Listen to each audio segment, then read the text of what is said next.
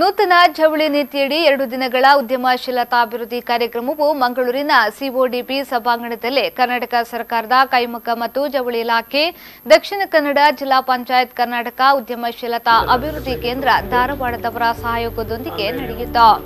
ಈ ಸಂದರ್ಭದಲ್ಲಿ ಜಿಲ್ಲಾ ಪಂಚಾಯತ್ನ ಕೈಮಗ್ಗ ಜವಳಿ ಇಲಾಖೆಯ ಸಹಾಯಕ ನಿರ್ದೇಶಕ ಶಿವಶಂಕರ್ ಅವರು ಮಾತನಾಡಿ, ಒಂದು ವೇಳೆ ಸರ್ಕಾರದಿಂದ ಅನುದಾನ ಬಂದಿದ್ರೆ ಇಪ್ಪತ್ತೈದು ಶೇಕಡ ಮಂಗಳೂರಿಗೆ ಬರ್ತಾ ಇತ್ತು. ಅಷ್ಟೇ ಅಲ್ಲದೆ ಸಾವಿರಾರು ಸಂಖ್ಯೆಯಲ್ಲಿದ್ದ ನೇಕಾರರ ಸಂಖ್ಯೆ ಕಡಿಮೆಯಾಗುತ್ತಾ ಬಂತು ಎಂದು ವಿಷಾದ ವ್ಯಕ್ತಪಡಿಸಿದ್ರು.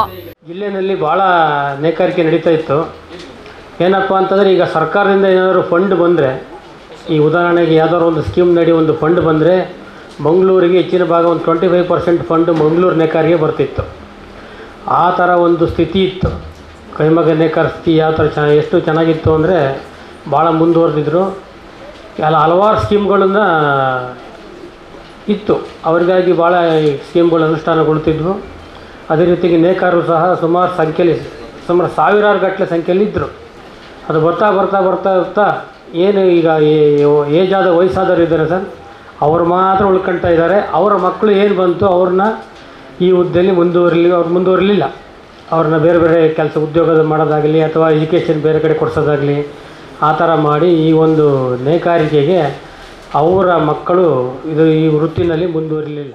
ಈ ಸಂದರ್ಭದಲ್ಲಿ ಹಲವಾರು ಶಿಬಿರಾರ್ಥಿಗಳು ಭಾಗವಹಿಸಿದ್ರು